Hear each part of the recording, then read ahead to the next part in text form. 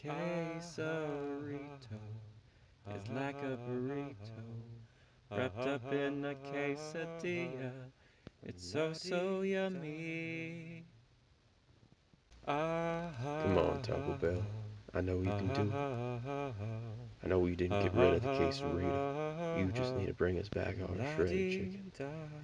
I hate ordering through the app to have to get it because I sometimes I don't know when I go to Taco Bell. I want to be able to just show up and order a quesarito.